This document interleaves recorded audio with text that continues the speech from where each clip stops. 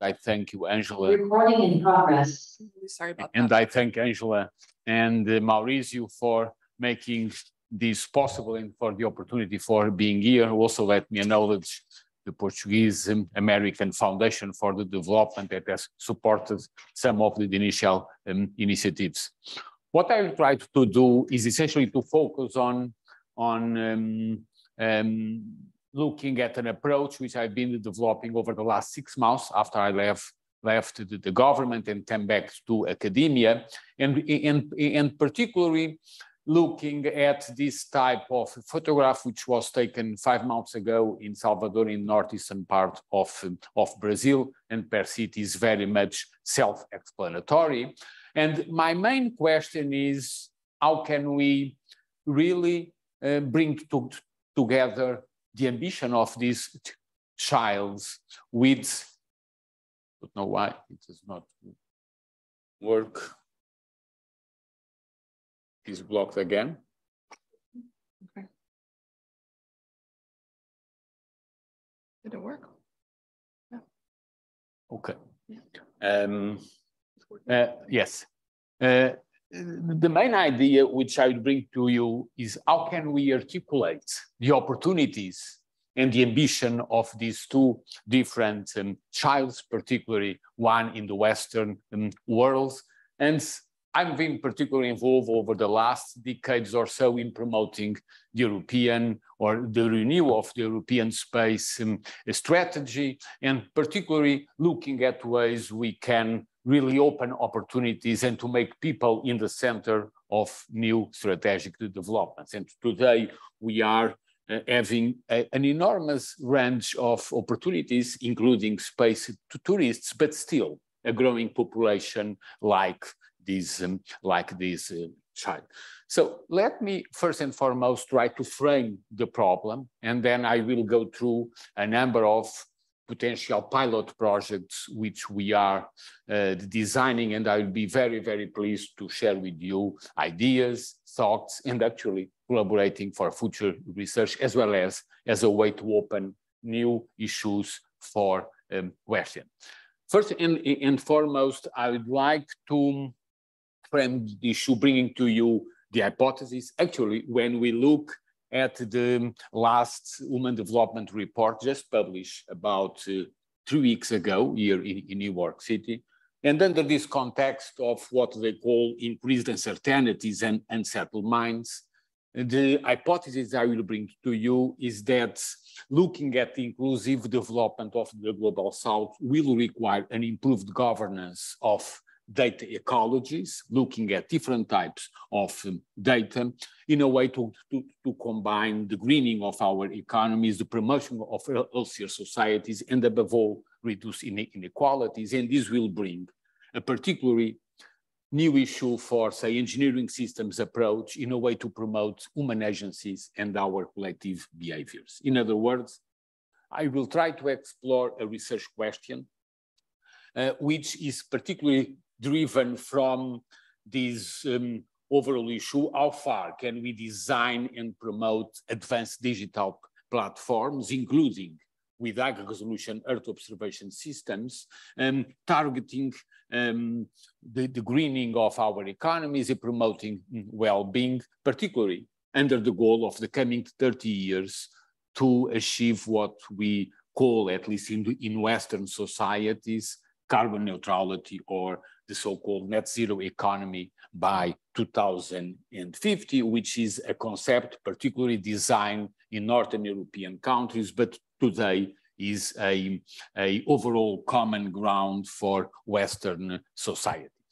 More specifically, I would like to address this question in three specific issues, very much dealt with what I call an engineering systems approach to deal with complex urban contexts,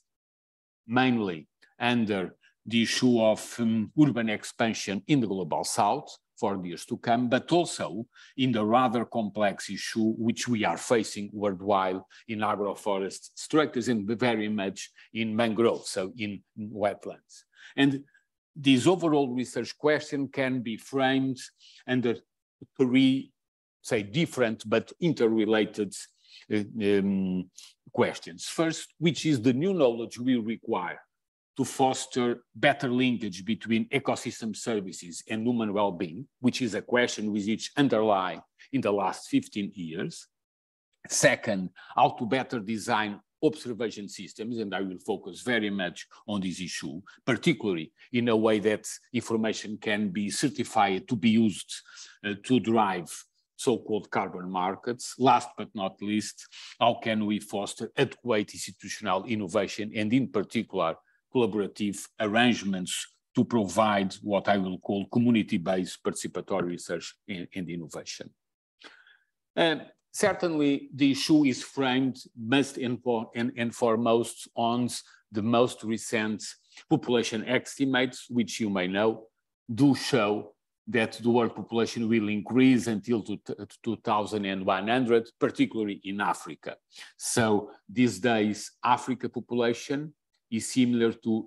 Europe and the, the West, which will remain constant. But in the coming 30 years, all estimates, all the best estimates show Africa population will double, getting from essentially 1 billion to 2 billion people. And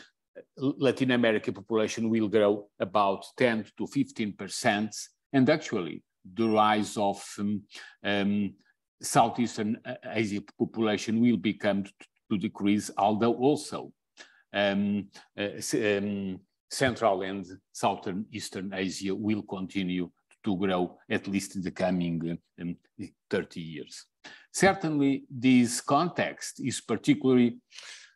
looked at the new World Development Report, as I mentioned, just published three years ago, for the very first time, shows essentially as an impact of COVID, a decrease in the overall Human Development Index, and therefore this is causing um, issues worldwide, as you all know. Actually, work done here at the Institute by um, uh, Solly, Angel, and others a few years ago have clearly sh shown that the increase in urban population, particularly in Latin America and Sub-Saharan Africa, do not follow patterns like we are traditional considered either in Europe or North America, mainly because of the high level of, of um, um, informality, say the informality increase in all the regions except Europe and, and America. So we are particularly interested in better understanding how can we use advanced data and Earth observation systems to particularly look at these issues of increased in, in, in informality as Solly and others have um, clearly pointed it out and addressing urban expansion in coming years. Let me give you one of the case studies. Um, the southern eastern part of Brazil, in particular in, in Rio de Janeiro. This is the, the largest favela, the slum of Maré, um, which accounts for about 140,000 people just between the Rio de Janeiro airport and downtown um, Rio de Janeiro. It includes ab about 16 different um, slums, overall accounting, as I mentioned, for 140,000 people. And I've been in the last months particularly working throughout a long-standing collaboration with the largest Latin American public health foundation, the Fiocruz Foundation, and a number of um, um, non-governmental organizations, particularly Redes da Maré, which are promoting particularly health and education issues in these very complex issues. All of us have seen this type of environments with high level of social and economic vulnerability. And actually, last week, these are images which are very typical every day, particularly when police comes to deal with the situations very much related with drug um, business. And actually, um, a main issue is that whenever this happens, um, and we, there are mass shooting problems which do affect particularly the, those people working over there. Again, this is a situation which is very much account, but apart from that, when this happens, be, because all, this overall place is located very much um, very much um, um, uh, nearby the main road to Rio de Janeiro, it completely blocks the train in a zone where lives about 11 million people. Um, actually, I was interviewing in the last couple of months and meeting uh, uh, for a, a, workshop with the leader of um, uh, this um, uh, slum, Eliana Souza Silva, and actually, she was arguing in, in her most recent book and through a number of research work. She's someone that as was born there, have done recently a PhD in social sciences. And the main issue she is looking is that um, uh, still civil society organizations do not understand the type of paradigms we need to change in this type of, um, of contexts. And she's arguing that only very creative integrated proposals can articulate, that articulate different social actors will be possible to produce innovative public policies for these fields, particularly in the, in the public, um, um, in the public uh, security, which do require two fundamental changes in the way we look at first the population's um, uh, imagination, and she called it, but also the idea of valuing the policy, the, the, the policy officer. But above all, um, essentially, the idea that every single, every day that we struggle with this issue, we are particularly facing a critical problem, uh, which is indirectly related with um, climate change, but to affect human well-being um, at a considerable um, extent. Um, actually, my question, which I also bring to you, how can we relate this with the work Maurizio and others have done in terms of um, um, um, the, your work on, on mass shooting. And by reading your papers, I was particularly interested in understanding, although in a completely different context, how essentially we can look again with new data to evolve, which evolving legal changes, shooting incidents in media, in, in media coverage, and particularly focus on the way we can provide new observation systems to help facilitating um, public, um, public security and the access, the basic right of access to public, um, to public security. Actually, one of the main issues of this non-governmental organization that I refer to, um, Redes da Maré, is to try to avoid police to go into the, the, the slum to avoid mass, mass, um, mass shooting. And therefore, the, the issue is that they really know that the regulatory system under which the population lives is completely different from one we usually consider, and these do need a completely different um, paradigm to be to be solved. And so there are here clearly relations for further research work. It's interesting to note that how the, the, the COVID has dramatically changed the way population believes in science in this area. And by that time, about three years ago, a consortium was formed again by these um, non-governmental organization with Fiocruz, which you may know is the largest Latin America public health foundation, essentially to provide vaccination in this issue. And actually, they have, I don't go into details, but um, they have introduced vaccination and the throughout um, engagement process with population roughly in August 2020, which has allowed it an increase in about 26% of cases registered per week, as well as a decrease in 48% in deaths registered. So there are um, there are stories, recent stories, uh, in association with COVID under this major initiative, which have shown a completely different change in the behavior of the, the of the, the, the population. And the question is also how can we get through these institutional innovations and these trust relationships which has been created to move forward now in a to address the issue of the access to public um, to public safety and public conditions actually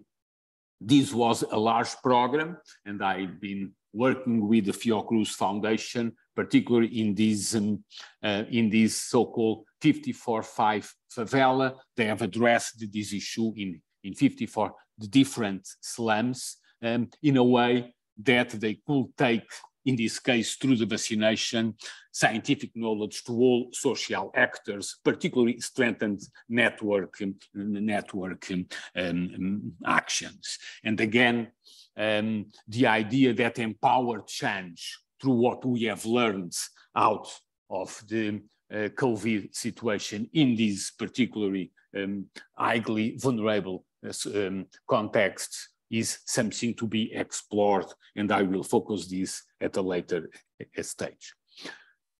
A related but very much different problem has become very much associated with the transition to net zero, which again, um, the situation in, in, in, slums, particularly in the global south, are an indirect in, impact of the current climate change. Most of us have seen this, which or this type of figure, which has been derived by International Energy Agency about one year ago, and most of Western countries have signed up this idea of in the coming 30 years, and I was particularly engaged from the Portuguese situation in this negotiation, how can we get in 30 years' time a net zero economy, either in terms of reducing the energy consumption in buildings, above all in transportation, in industry, and in the heat um, generation. We know, nevertheless, that uh, we will not be able in the coming 30 years to decrease CO2 emissions. We may try, and I'm sure we will get some de decrease of CO2, and therefore it becomes of increasing and increasing relevance, also the way to fix and sequester uh, CO2 together with the valuing of biological assets, which can only be done if we foster human conditions in many of these situations which I described before in close articulation with the expansion of human, um, of human population. Overall, um, there has been an increasing attention to economic initiatives, which I believe you are very much familiar of drawing back carbon offsets, particularly in the South,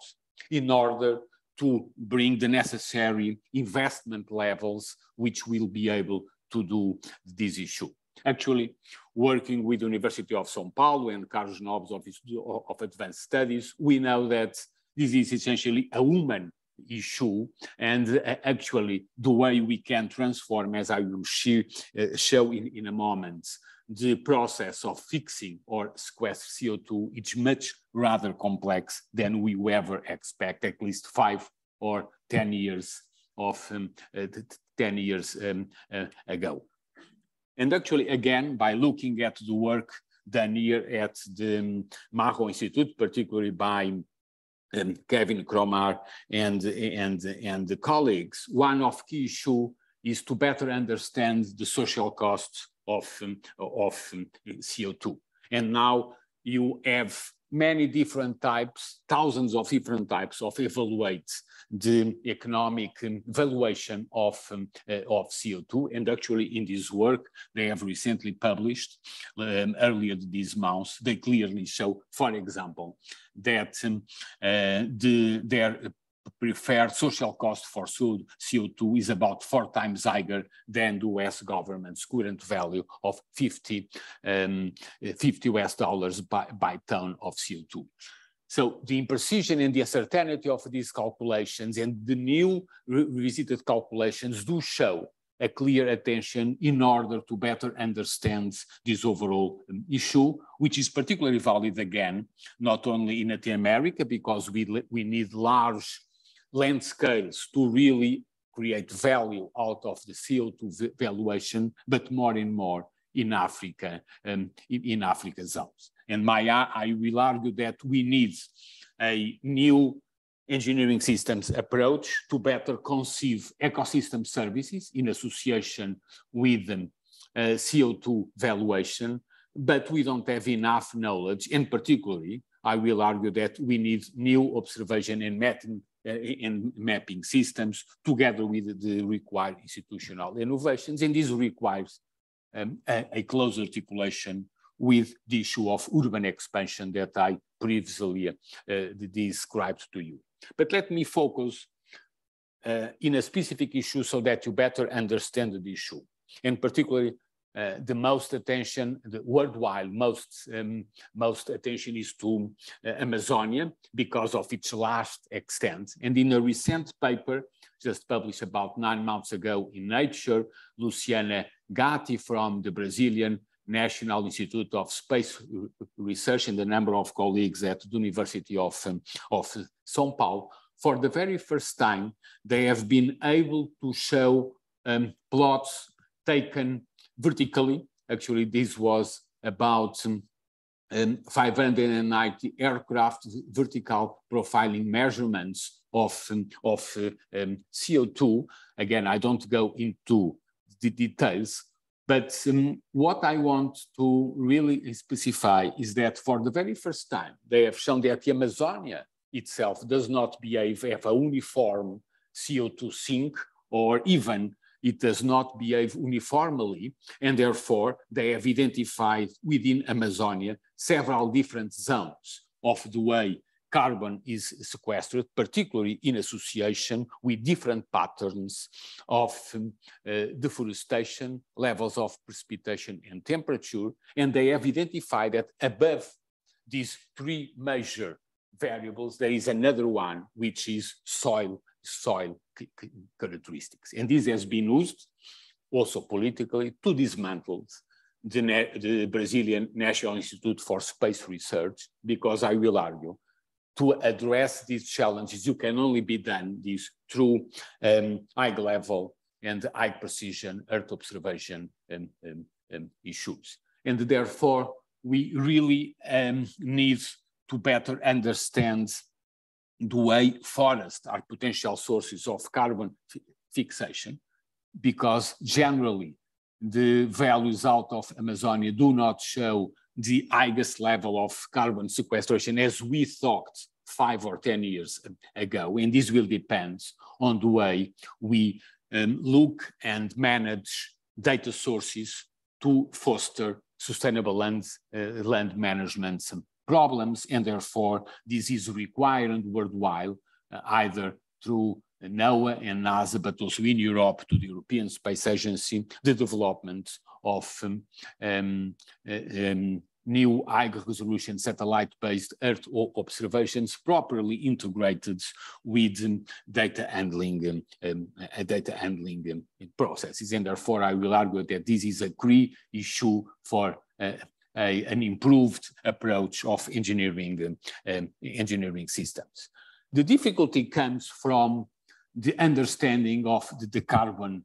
the, the carbon cycle, either in lands or in wetlands, which do bring a number of uncertainties to this process, and therefore it requires not only modeling, but the highest, um, the highest uncertainty is coming also in the case of wetlands, what is below surface, or in the case of um, uh, the terrestrial system, what is actually also beneath um, uh, the surface. This is because actually the most recent IPCC calculations, which were published less than uh, one year ago, shows that the capacity to fix and sequester CO2 will depend in a typical tropical forest, 50-50% say, of the capacity of forests to fix CO2, but also on the, on the soil characteristics, in particular in wetlands, which have become particularly important in the global south, um, such as all those zones where urban expansion has been particularly um, increasing, um, most of the capacity to sequester carbon is actually underneath surface and in the water um, system. And this poses a number of new questions which will require the integration of uh, advanced Earth observation systems with new in-sensor, uh, in situ um, um, um, sensors. For example, a recent work done by Embrapa, the largest Brazilian um, Agribusiness Association do clearly show that the capacity to sequester CO2 depends very much on the soil, on the soil um, characteristics and different uh, coffee, uh, coffee plantations do show different levels of um, carbon capacity or fixation of carbon capacity depending not only on the profile of the plants, but also on the, on the carbon, um, on the soil, on the soil characteristics. If we move to the mangroves, particularly in Africa, the capacity is shown recently to be enormous in terms of the, the capacity to sequester carbon, but we don't have the necessary data to make an, it happen. Actually, I've been working with the South Africa Space Agency, SANSA, looking at the existing data, um, which are most and foremost vegetation index, um, which have a low, um, um a low re resolution level of about uh, 10 meters um, land scales, but um, is not enough to provide, for instance, the necessary monitoring for mangroves like these, um, which uh, do happen in the, in uh, in South Africa, like in the zone of of um, um, um, Zanzibar, mainly because most of the existing data, and this has been done through the, the so-called European system Sentinel, is, associ is associated and has been used for um, look at um, vegetation conditions um, and they may be used as input to machine learning processes for land use classification if actually we can build a ground truth which will be able to uh, foster a, a, an adequate engineering systems approach to this, to this um, um, process. Nevertheless, behind all these figures, there are po populations which are striving for local economic conditions. One of the, the, projects I've been looking recently is in Guinea-Bissau, one of the strongest but more complex mangroves, um, which actually is a World Heritage um, process. And um, um, essentially in a zone which is particularly influenced by high level of political corruption, uh, the so-called Bijagos um, islands, and where actually a very strong uh, ONG, Tiniguena, is providing a process of capacity building, particularly through the women. And actually, they are fighting now um, also with issues which um, in our Western way, we will particularly try to, to provide genetic modified foods to help providing food to everyone and to really fight against the lack of um, elements, but they strive for um, the property of those um, processes which uh, do not help the local population. And again, my my approach is that how far can we develop an engineering systems approach which will look not only at the scientific and technical conditions, but also at the issues human population um, are uh, striving to also build the local economies they need to, uh, to survive. In other words, this issue which I'm trying to bring here, and I start with um, constituencies of well-being, particularly in terms of personal safety and security, and I provide the example of Maré in Rio de Janeiro, uh, one of the largest urban expansion um, in, um, in recent years with a prospect of incre increasing with the so-called ecosystems services in terms of food, fresh water provision, but above all, the regulation of climate regulation. Actually, about 15 years ago, the World um, um, uh, Resources Institute published a report identifying some of the, um, say, intensity of linkage between ecosystem services and human well-being, which we see particularly uh, strong in the provision and calculation of climate issues, with actually all the conditions of health, basic material, and, and security. But definitely this problem has not been addressed in an in adequate way in the years to come. And the point is that how can we frame the coming 30 years, particularly when we estimate an increasing growth of the population um, in Africa and in some of these urban expansions in, um, in uh, um, Latin America. Certainly, looking at the historical background for this, let me remember Milton Santos, a geographer and a, Brazilian geographer, which have addressed these type of questions uh, some years ago. And particularly, he, he focused um, then the what we will call the technosphere or the dimension of technology should be better combined with uh, what he called by that time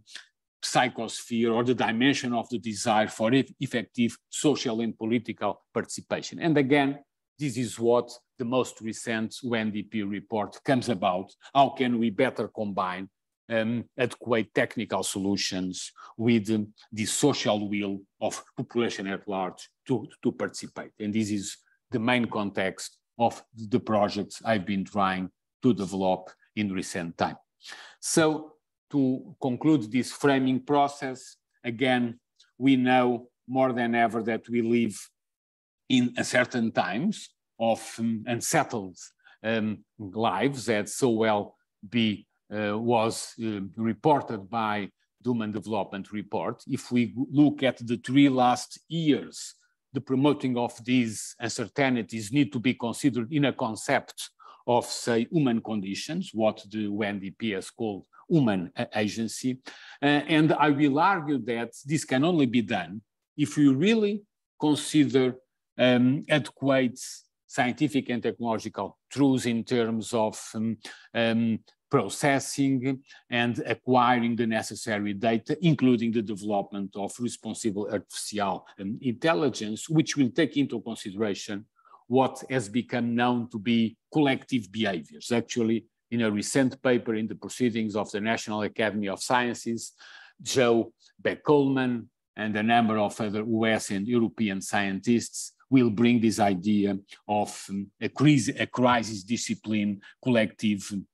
behavior. And my point here is how can we design human-centered approaches toward, toward safer, cleaner, and more resilient cooperative um, uh, societies. And this is what I would like to share with you in terms of framing an engineering systems approach to deal with uncertainties in the global south working certainly with local, with local um, um, partners. And I would like to bring to you a number of pilot projects, particularly in four different application areas. First and foremost, as I mentioned before, looking at low carbon bioeconomies with uh, bringing together not only the economic valuation of biological assets, but also soil characterization and carbon mapping looking also at zones which are particularly affected by urban expansion in the south, which are essentially coastal areas and therefore development of coastal bioeconomies where most of these highly vulnerable uh, zones do occur and will occur in the coming uh, 30 years, certainly with innovative ways of producing, distributing, and using renewables energy at a way which can bring sustainable solution. And again, the combination of these um, of these issues with public health and social development. For making these four application areas, the, I will argue that we need also to better and adequate high resolution Earth observation systems and essentially the, the way we can integrate mathematical and physical modeling with advanced visualization tools for what we have been considered to be digital twins as planning uh, planning uh, planning tools. Just to, to exemplify a critical issue, uh, looking at the recent years, for instance, on the tools we have by mapping and monitoring carbon stock with satellite observations, either from the European Space Agency or the US NASA. We have essentially been used four different technologies, uh, either the satellite aperture radar, the LIDAR, which has been used um, particularly with a quite interesting 3D capability, but not with a, necessary time resolution, and more and more the use of hyper and multispectral capability in optical um, in optical sensors. Nevertheless, there is still today no a single reliable technology which will allow us to better um, um, and adequately measure carbon uh, uh, stocks. And this has been actually dealt by combining a number of different um, approaches um, and essentially um, we are now being able to start considering inter the interactive calibration with machine learning modes in order to better articulate this different type of technology, but this is still a question mark. And actually, um, Planet Labs in, um, in, um, in San Francisco is trying to develop a new um, capacity. And also in Europe, there are a number of um, new um, attempts for making uh, this happen. Actually, the most recent data in Central Africa in order to try to combine different technologies, uh, particularly based on um, LIDAR technologies with in situ sensors to carbon mapping show a large degree of uncertainty and therefore the need to pursue in this, um, in this direction. This is interesting because, again, from an engineering systems approach, we are uh, living in a in the last 10 years in a changing paradigm for space system which will continue in the years to come started very much with the idea of um, a new area of, say, orbital space economy and in-orbit um, um, servicing, um, which will be particularly interesting in terms of the way we can build either in Europe or the United States in collaboration with the South, and I'm particularly referring to the South Africa um, Space Agency, to build the necessary innovative consortiums bringing together public and private organizations, but also being able to, as I mentioned before, to develop the, the necessary capacity for carbon and land use um, mapping with necessarily expected low cost um, um, solutions. Actually, in order to address these issues, I've been working on, on the recent years in building up uh, the Atlantic International Research Center, which will bring together a number of different organizations with a data center, together with a new um, operator, uh, Geosat, um, working with um, a, a, Portuguese engineering center and the Atlantic International Research Center, which has now a number of uh, satellites, and we are working now on building up a new generation of satellites, which will go up to uh, a space resolution of four centimeters. Certainly the way until we have this type of satellites moving up, uh, and uh, again, there are many other experiences particularly in the United States. And um, um, in, in parallel with the development of high resolution um, constellations or very high resolution constellations, we need actually to figure out a number of services and the dissemination of space activities uh, in a way that we can better map what is happening, particularly in the southern context. And that is in this context that apart from the development of new engineering solutions. I've also been looking, and again, this is a, an invitation for ideas and to share ideas with you to six different projects. One where actually I will be uh, next week on Western Africa, particularly association with the islands of Cabo Verde. Uh, again, the work I mentioned before in uh, sustainable territories in, in, in Brazil, but also in the Brazil metropolitan area uh, in Amazonia, and in ecosystems restoration in northern western Brazil, as well as in development of low carbon agriculture. So now what I will do, I go very briefly to these um, case studies, and then in the, in, the, in the coming days or weeks, I'll be very, very pleased to work with you and to share ideas and actually develop projects in association with these preliminary ideas I've been developing with local, um, with local partners. Uh, let me start by these very first problems so that you understand the framing of uh, Western Africa, um, and particularly an issue where a, a new cable was in, um, installed for um, communications, for secure communications purpose, particularly also uh, Euro-African cable to address Western continental Africa uh, in combination or in articulation with advanced satellite um, uh, systems. This is the type of um, systems we are dealing with actually in Mindelo and Cabo Verde, which is a zone uh, heavily um, affected by desertification and social inequality about or uh, uh, in beyond food, food security issues. Just to give you an example of the issues we are looking at, actually either in Cabo Verde, but we also move to, to Ghana and, and Benin. The fishing fleet is still insufficiently developed, and the, the total absence of a biodiversity um, observatory, and therefore the goal is to create a tracking systems for vessels and buoys, but also to create a local group of what NOAA, in collaboration with the European Space Agency, has built in terms of marine the biodiversity observation eh, network.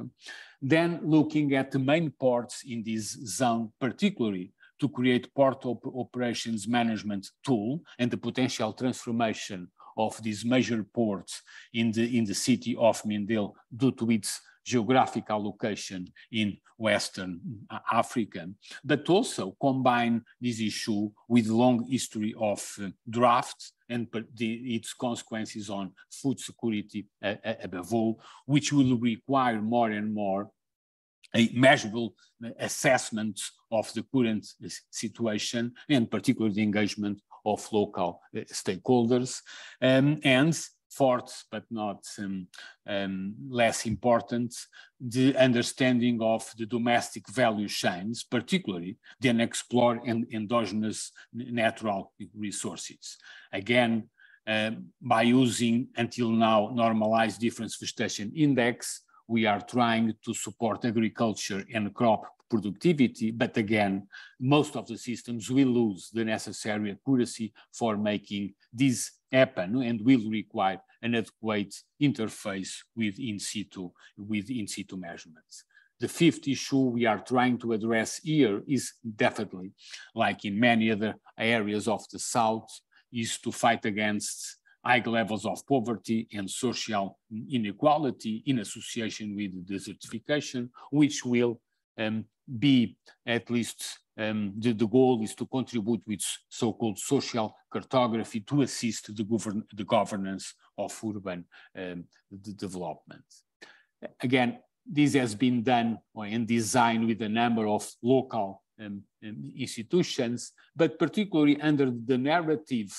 uh, of transforming, transforming or helping uh, in a process of 20 years a, st a structural change, which actually a well-known recent paper by Carlos Lopes um, and uh, Jorge Carrasco has shown how difficult it is in terms of being able to produce a long-term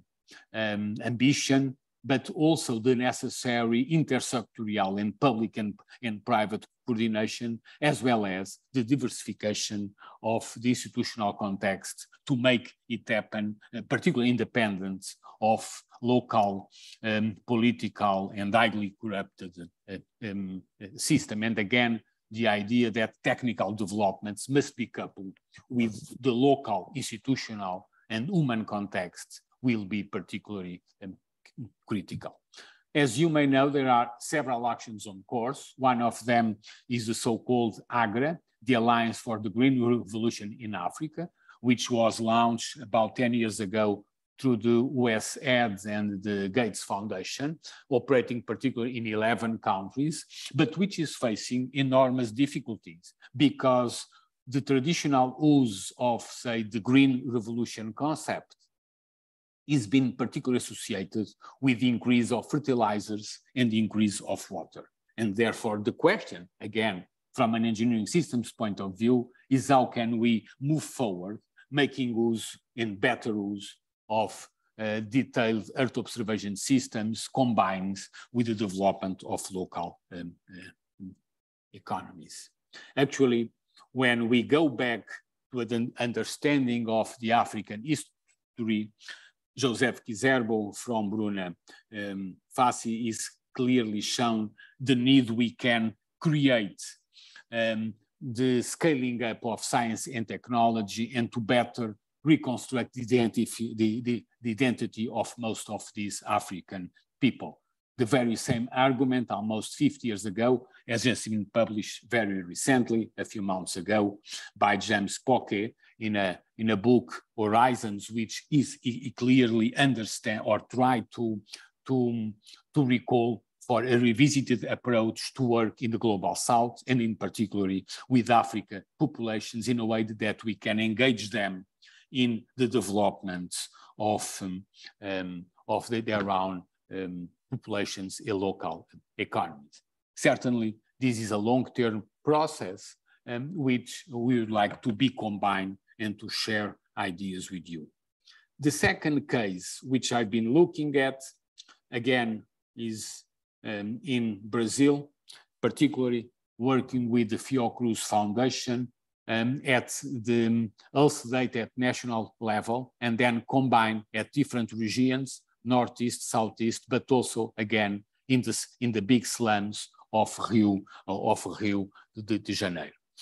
The difficulty in um, arranging and processing data um, at a national level is enormous because of the complex situation of different um, administrative data, and particularly through the Fiocruz Foundation, we are using more and more available administrative data of the entire population because they are unique data sets. Um, I don't go into details on their data platform, but essentially they have been able to develop for the very first time in the last few years a 100 million Brazilian cohort of the, population, particularly in terms of um, factors associated with um, uh, birth rates, which can now be used for uh, data, uh, data um, analysis. And therefore, the ultimate goal is to work with them in the evolution of um, the existing biomedical resources to a new generation of data, which will include new biomedical resources, their environmental platforms, but also links new health and healthcare care to the different cohorts they, uh, they, do, uh, they do, do have. Again, this has been implemented through um, a, a consortium of different institutions,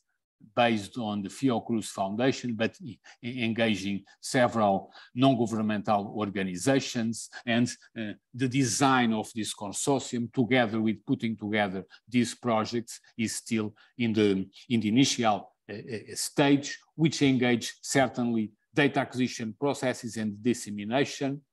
like the ones, the engagement of local uh, populations, and a process of risk um, communication, uh, actually with the experience obtained through the COVID um, um,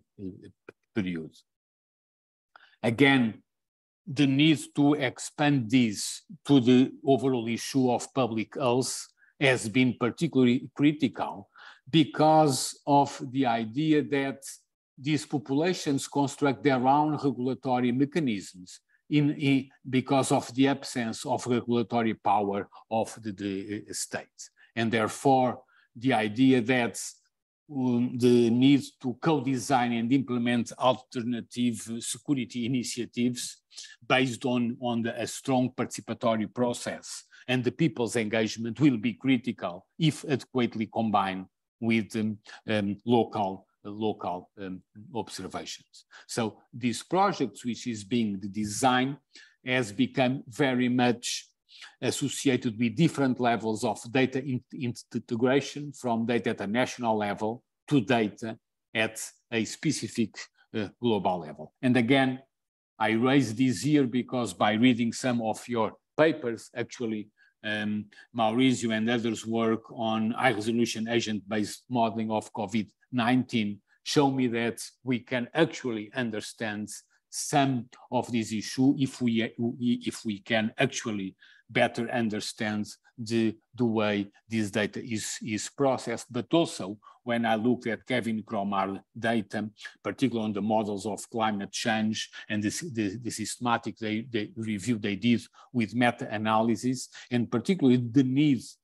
for accounting for socioeconomic traje trajectories and adaptation factors when estimating health, uh, health damage. And therefore, again, I bring these issues in, in also in association with the work you have been currently developed uh, either in CUSP or in, um, or in um, um, Institute. Let me move to uh, a, a, related but different project in the Rio de Janeiro metropolitan area, which I've been engaged in very recently with the Federal University of uh, Rio de Janeiro, uh, looking at the big so-called Guanabara Bay, the largest world bay located in the Rio de Janeiro, one of the highest polluted, but also highly controversial um, um, zone where lives about 12 million um, people uh, around the city of um, um, Rio de Janeiro. I don't go into details. Certainly, this is a, a, the largest, most populated zone in Brazil, with essentially, as I mentioned, 12, but about 10 to 13.5 million people. And most of us have seen this type of figures. It is interesting to note that still, after 20 years of development, there is still not a, a water management system working for this overall um, zone. Um, and actually, a new consortium has been put to, together, managed by the Federal University of um, Rio de Janeiro, to look at the overall issues of cleaning up this bay, but, but particularly to develop a, um, a water management system. When we look at the, the last 100 years, um, this system has evolved, but was never operated. Actually, 10 years ago, the, uh, the, the, the, largest, um, the largest um, water management facility in Latin America, this one year has developed. It is not working properly, and therefore what is called the Guandu system. Uh, and now the University Federal of Rio de Janeiro, together with the consortium I mentioned, is trying to design an engineering systems approach to make this, um, this happen, which again should include the development of coastal bioeconomies to deal with um, critical issues of um, waste in all the, the zones, but essentially making use of sophisticated the, the digital modeling um, and the building up of a digital twin as a planning tool for this um, um, for this zone. We have been trying to work with them with um, uh, data analysis from different image, but certainly the design of this process is a complex issue, which again, I would like to invite you to enter into this overall uh, discussion, how to design in the coming 10 years this, um, this, um, this process. Coming up to my fourth case in Amazonia,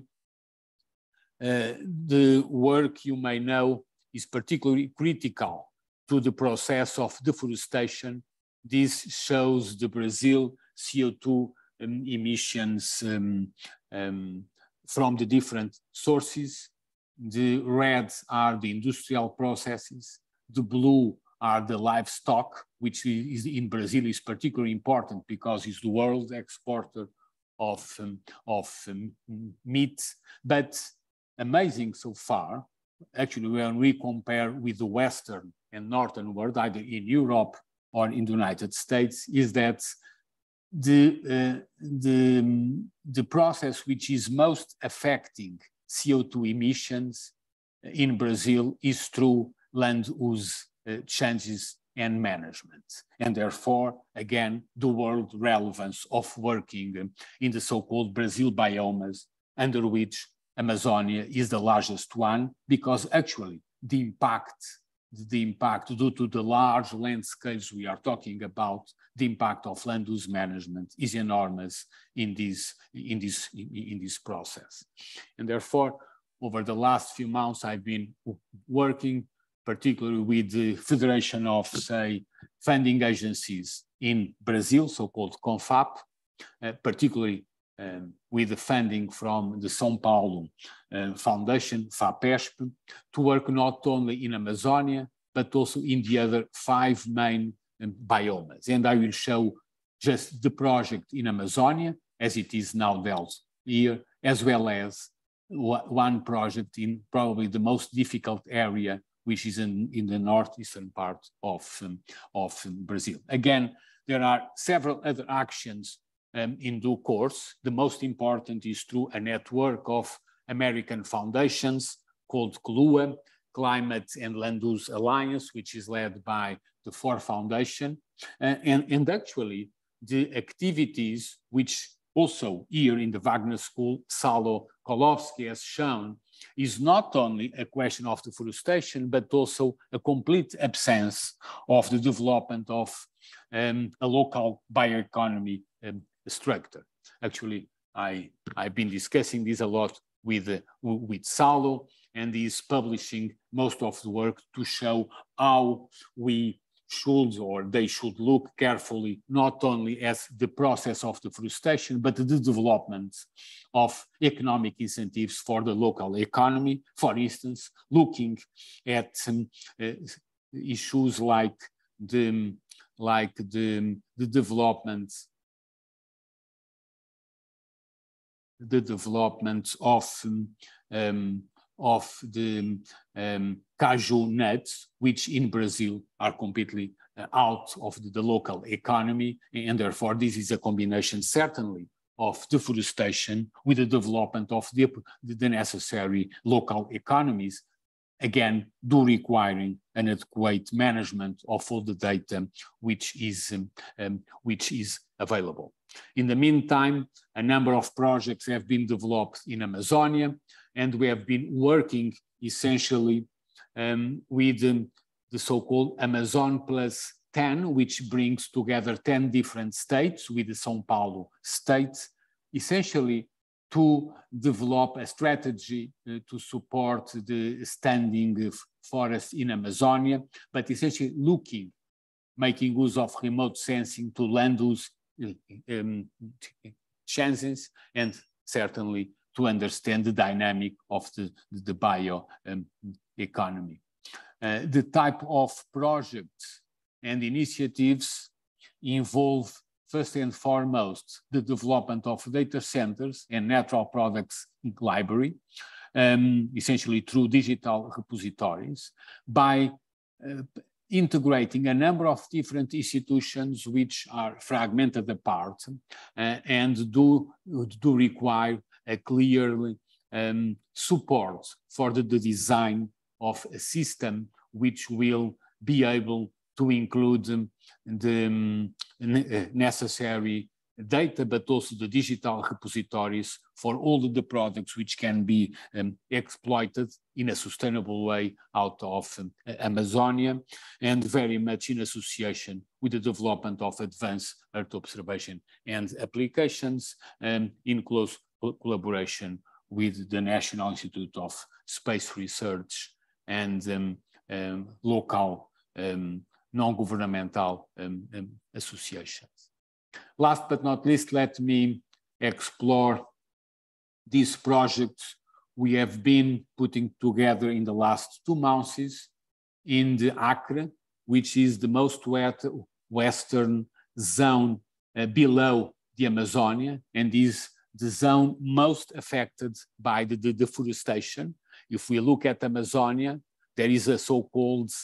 arc of deforestation just south of Amazonia. And actually this is the zone where um, um, where most of that process is, is happening and therefore a collaboratory is putting together to help ecosystems re restoration in this um, um, in the, this um, zone. Just for you to understand, this is a ongoing um, path over the last, say, 15 years through a project of uh, making use of the mapping of carbon stock, we have been able essentially to understand how the different pressures in the system do evolve. But again, overall, this will require the installation of an overall complex data um, system, uh, which will bring data from the different from the different areas, not only the um, standing um, um, forests, but also the sustainable land use management and the few zones of protected forests together with the development of the adequate processes of, of the valuation of the different assets. Again, turning these as public data in a way that, that we can really engage the, the local population is probably one of the challenge this project is addressing, bringing together a large set of different um, of different institutions. I've been collaborating first and foremost with Canopy, which is one non-governmental organization working particularly with the Federal University of Viçosa and the, say, SENAI, which is the, the professional and industrial engineering centers in Brazil, and certainly with the largest Brazilian agribusiness um, uh, institution, Embrapa managing this consortium in order to foster the process of ecosystems restoration has become essentially an issue of data management and data in advanced data, data um, processing. I don't want to go further. Time is, um, is moving to the last case, which is essentially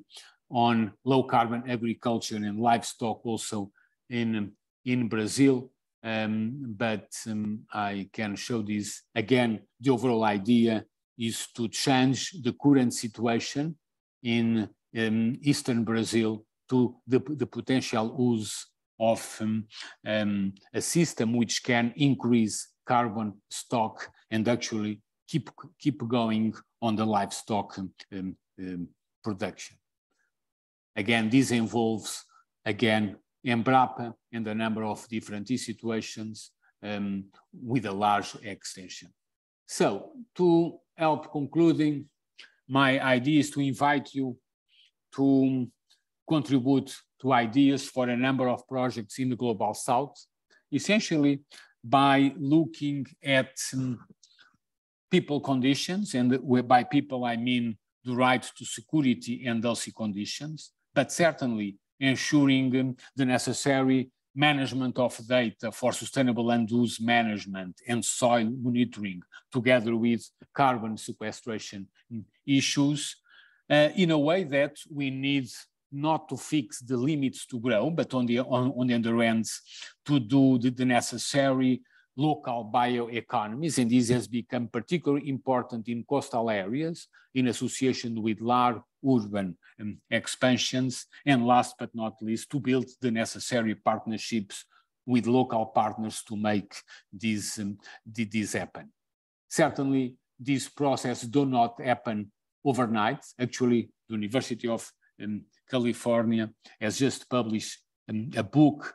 by a well-known Brazilian economist, Celso Furtado, where he argues for the underlying social projects and the combination of new technical um, solutions. Uh, but particularly, uh, I've been uh, trying to look in one sense, how can we combine engineering systems approach with the so-called capabilities approach by uh, um, Martha Nussbaum, but more and more also how to understand these large and complex consortiums in terms of building the necessary human and physical infrastructures, uh, the structure of incentives and the institutional innovations in a way that we can look at four different fundamentals to promote systems linkage and collaborative arrangements in terms of the densification of the territory with the development of public and public goods, diversification of the research and innovation landscape, the understanding of the multidirectional knowledge flows between demand and, and supply, and the capacity to mobilize research and innovation agendas uh, in this complex institutional context of the, the South. Understanding above all that we need to overcome challenges which are different from those actually in the North and in the Western uh, societies. Most of them, in my understanding, related very much, which I will call the arrogance of disciplinary knowledge, which in the South is becoming particularly critical, but more and more with the traditional regulatory regimes and the need to better understand technology adoption in this type of, um, uh, of um, um, um systems. So my goal was essentially to discuss opportunities for new research in what I consider to be a, an engineering systems approach bringing together policy and human agency, but in a way that we can viewing those systems and products in their broad human, social, cultural, and economic um, and economic um, um, context. Thank you very much.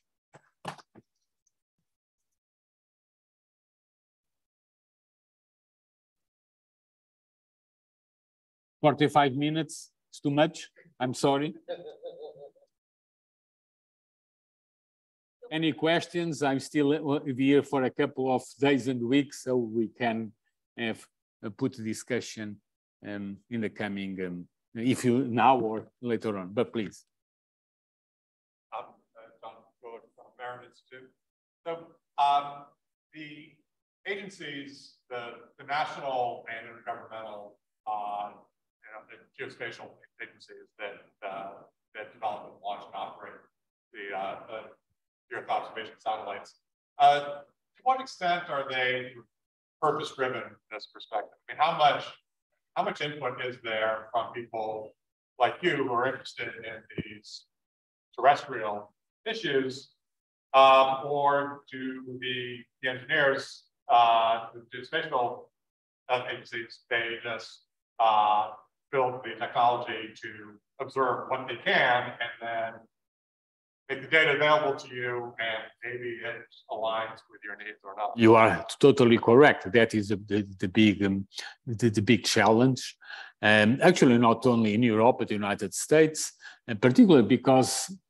when we look, for instance, at space systems, they have been very much developed in a supply-driven um, process. And uh, actually, the projects I mentioned to you have been done in close articulation with the European Space Agency, but they are essentially interested in, in providing data, and they don't have the capabilities enough to understand the, a demand-driven or a user-driven issue. That is the reason why I've been looking at collaboratory or collaborative arrangements in order to combine the supply-driven process with the user and demand process, but per se is, um, is a complex issue how to deal how to deal with these um, um, with these arrangements. Certainly, when one goes into detail in Earth observation systems, again like here or in, in Europe, um, the data that you have access is essentially low resolution data.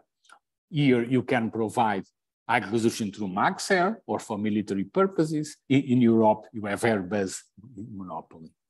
So this brings also a, a, very interesting but rather complex issue, which is not overcome overnight. It will take time.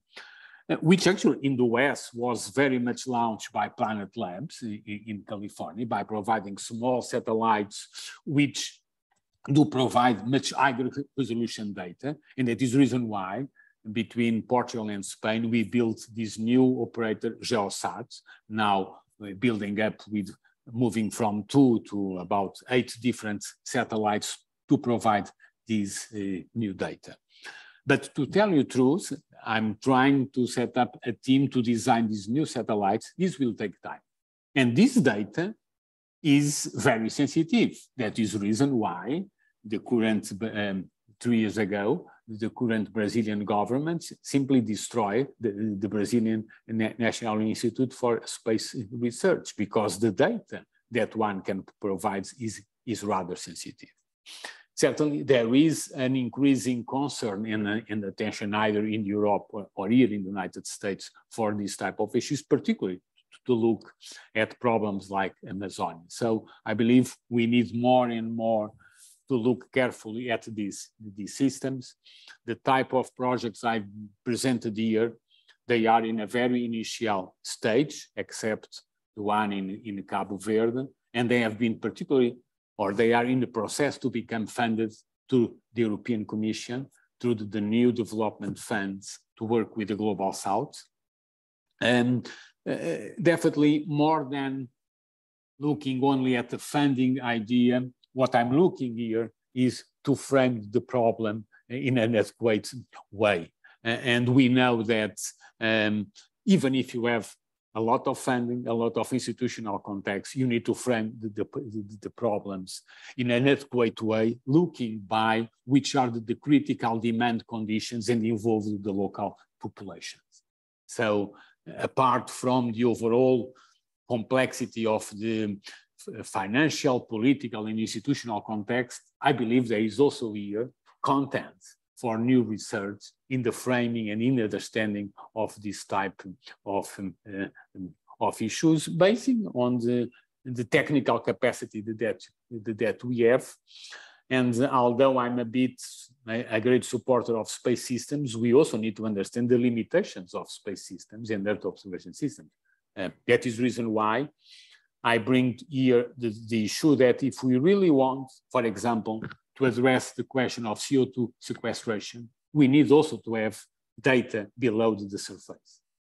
it is not only with data because all the attempts to look at Earth observations for carbon sequestration did fail until now because of the, the lack of other type of data. So this is always be a process of data integration, and uh, sensor fusion, but more and more of combining different types of data by understanding the local specific context in each case. So the way to frame these issues is still along, in my understanding, intellectual narrative, outward adequately frame this type of problems and plan an intervention which should be gradual and stepwise. So I'm speaking about a 30 years time frame and certainly in projects that can never be implemented before or shorter than five to 10 years time frame. Maurizio. So for example, for a COVID project, what type of data will you have? Which granularity, like how does the data set is a person data. I don't have the data, but we we can speak with them, the, the people in the Fiocruz Foundation. They have uh, individual data. For each person, what do they For each person, they know at least the, the, the identification of the person, the number of um, times they have had COVID, and, and probably the, the health records of some of these people. I, I assume of the most of, of them. They, they know where they no. Yeah, I, am sure that they know. You can trade information, you can compare different areas. You can look at people living in a very well developed, well part of Rio versus people living in a favela. We can do that. You can have the revolution. I believe so. Compare with the work you have done in La Rochelle. Yeah uh, how, uh, which type of data did you use for your analysis? We use the census data. The census data. Yeah, Statistical data.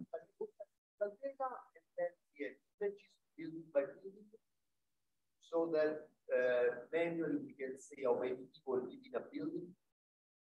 And then we have mobility data. So, but everything publicly available. It was just ah. project model. With public available data. Yes. Again, if you look at a, a favela or a slum, the level of in, in, informal construction and informality is total. Yeah, So that data does not exist.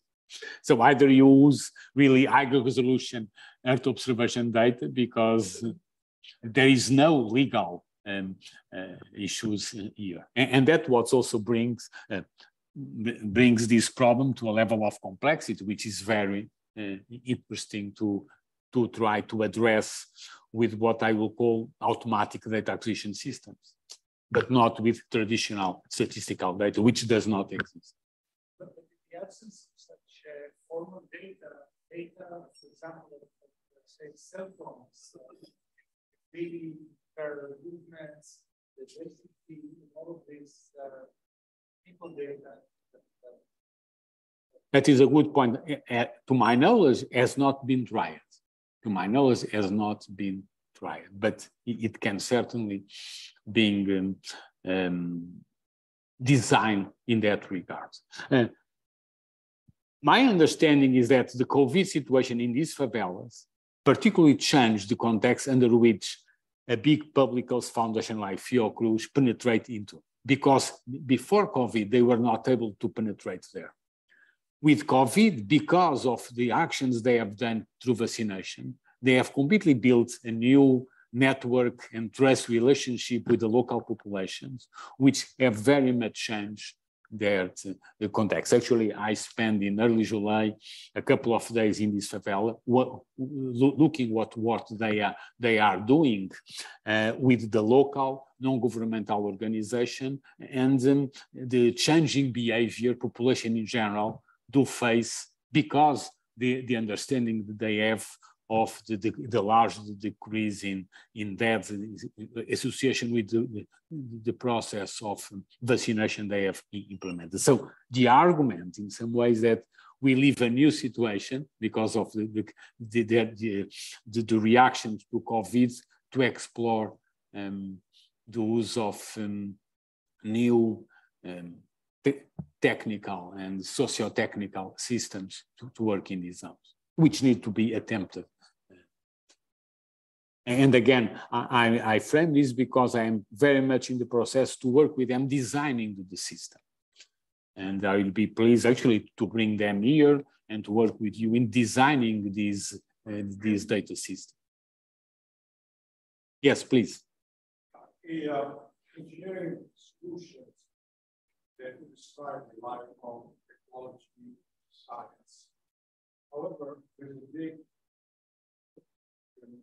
or the institutional political element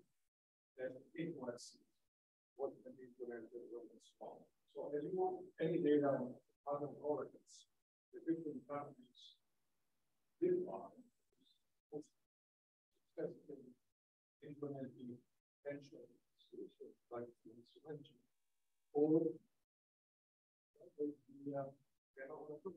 yeah, you are totally right. Um, uh, in in Brazil, uh, if you, as you mentioned, I've tried to speak about in terms of states. So most of the design of these pilot projects that I report here, they are done at a state level with local agencies and, and local NGOs to be a way to be a way of the exactly exactly no, you, you are totally right. But on the other way, if you if you look at the traditional political regimes, you are facing highly corrupted situations with an high uh, instability. Um, that happens in, in many other uh, societies, also in Europe. But for instance,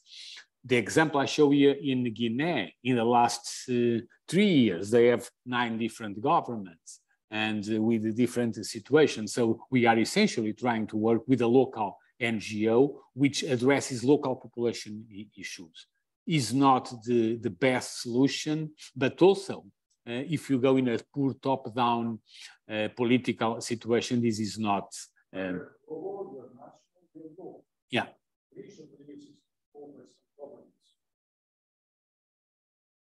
So the role the data on what frameworks are more conducive to supporting kind of criminals against it. I totally agree with you, but this is a local issue and makes part of the design and of the framing of the, the problem in each different in each different location. Actually, within that context, to provide an international say flavor of or institutional context may help. For instance, in the Western Africa project in Cabo Verde, we are particularly working with Cabo Verde, Ghana, Benin, in order to have more than one country so that we uh, also bring a layer which goes um, uh, above each individual um, um, situation. Um, and that was the rationale about five years ago to build this Atlantic International Research Center, their center to go above each political issue, because at an international cooperation level, we may have a better reliability to do local action. Are you aware of the best practices? One can learn from the opposing solutions and encourage the